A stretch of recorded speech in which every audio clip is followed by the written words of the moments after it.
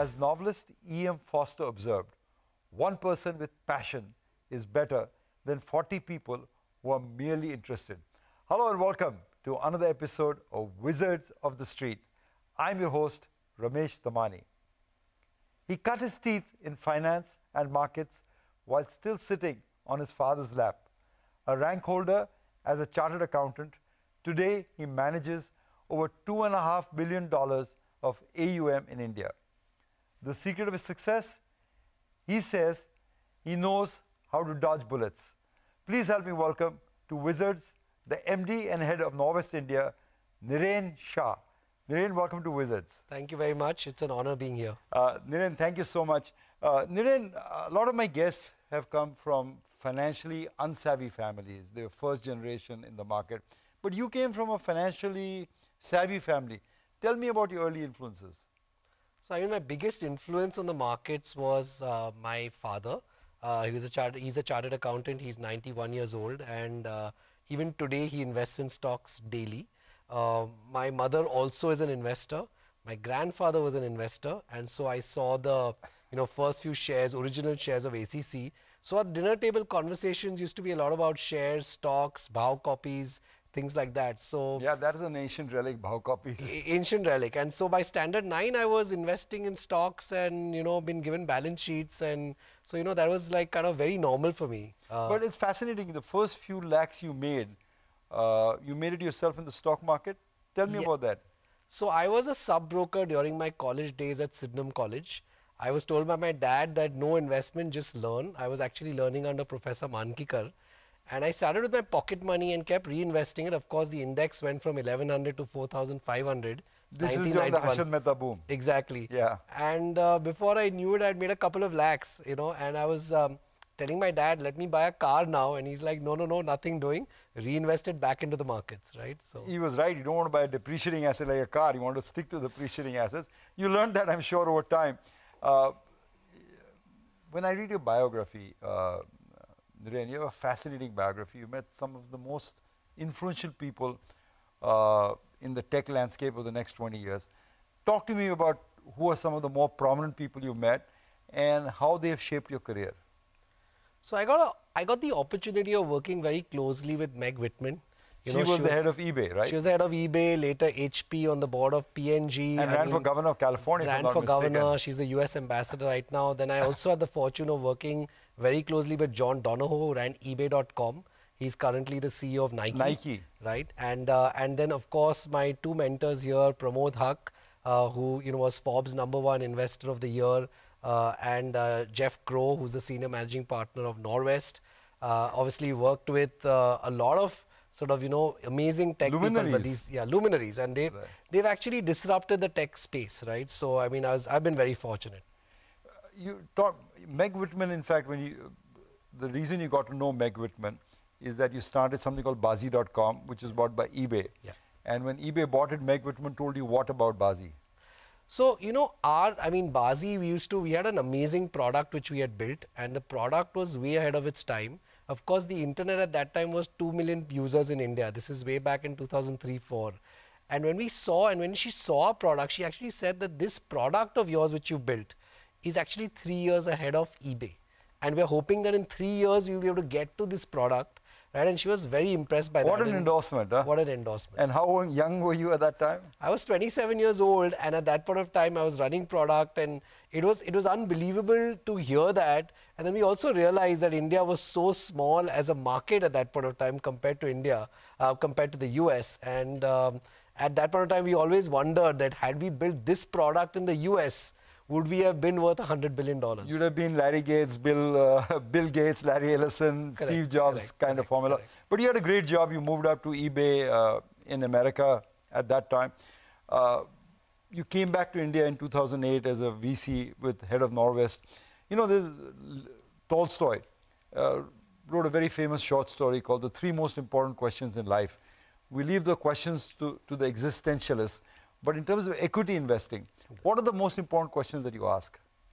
So look, you know, we are very fundamental investors, right? And in India, of course, everything starts in Hindi, you know, private markets included. Yeah. So I'm notorious for asking this question saying, kitna revenue hai, kitna profit hai, कौन है इसके पीछे you know we're trying to judge over here that is this a company with unit economics right we're trying to judge that who are the founders sort of what is the quality of the founders what are the ethics and integrity so i mean our job is to sort of understand within the first hour given that we see a thousand deals a year to understand within a first hour whether we want to pursue this or not so we are sort of you know we get to the point very quickly and uh, and you know again Sometimes over lunch too. over lunch too Yeah. right And if the company does not have revenues uh, or profitability or management that you believe, you will pass it over. You're not scared to pass over an opportunity. Oh yeah, yeah. We we will pass all the time, and that's the sort of nature of the beast.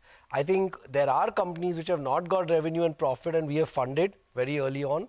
But the management team, the founding team, that is very very critical. That, that's interesting. I know one company that you funded uh, despite not having particularly good revenue or definitely not profit was Swiggy. How did you come out with the idea of Swiggy? Did you someone come it to you or did you search for it? So this was a very top-down thesis. Actually, at some level, this started off in my household, where every Sunday evening we would eat pav bhaji, which is famous in Mumbai, and I would go have to collect that pav bhaji, park in a no parking zone, always get fined, never find parking, and then I was like, listen, how come we don't have something which delivers?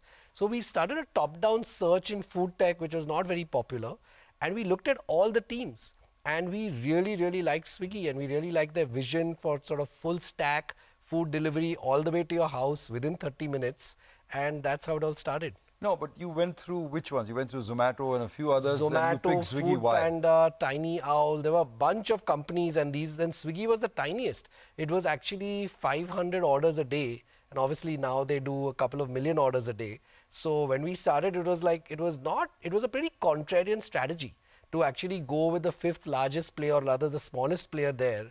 But we really loved the founding team's vision.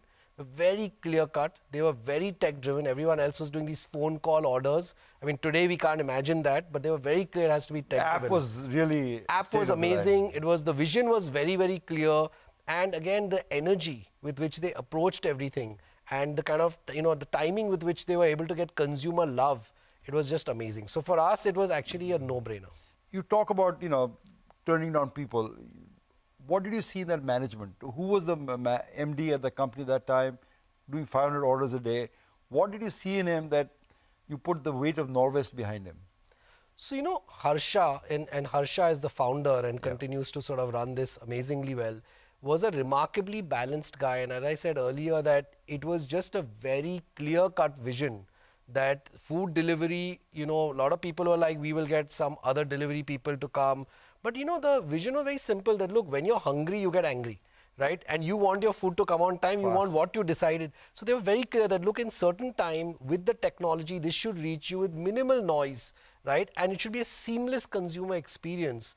And you know that vision, and then the ability to execute to that vision. You know, even at 500 orders, when we called up a lot of customers, they were raving about it. So the ability to do that and execute at such a young stage with very no money, because when we came in, you know, the round had not even been done. So to do that, it was so we were blown away. Naren, I know you are very fussy about unit economics, you're very fussy about profitability. This company had neither and does not have any of those even today. So, what, what translated, what was the compelling uh, investment value there? So it's a massive need and a pain point, and it's a massive market. So there's food delivery and there's grocery. Both of these are very large markets. It's a trillion dollar market when you count both of these together. And it does take time and effort to build out markets like these. Along the way, we have gone ahead and proven markets. So we proved that Bangalore could be profitable. We proved that Hyderabad could be profitable. At this point, in a few months, it's very possible that the food delivery business there will be profitable. But a lot of critics of Swiggy and Zomato complain about the new acquisitions that they've done. I guess it's Instamart in terms of. Uh, So Instamart was built, right? So Swiggy hasn't done any big acquisitions. I think Instamart, Swiggy started but it's bleeding within. money, right? It is bleeding money, but the reason for that is again market size is massive. It's a trillion dollar market. So if you really look at this couple of years out and the size of the market and eventually today you see a household name like so you know you're able to see Swiggy every people people who are delivering right every single morning there are people who buy Swiggy Instamart and uh, I think that actually in terms of the long run this market could be 5x the size of food delivery. Really? Yeah. And uh, talking in terms of uh, when Zomato is already listed, when do you intend to list Swiggy? So I think it will take us a couple of years. We're in no hurry to list, but at the same point of time, They have enough cash here. They have more than enough cash. The unit economics are improving every single month, and it's a very innovative team. Talk to me about the startup scene in India. How do you assessing that uh, startup scene in India today? See, this startup scene in India, we are at an inflection point. You know, so I've I've sort of felt that if you look at a 200 year history and you look at 100 years behind and 100 years in front, this is the 10 years to be in startups in India. We'll take a break, come back and chat some more with Niren Shah of Norway.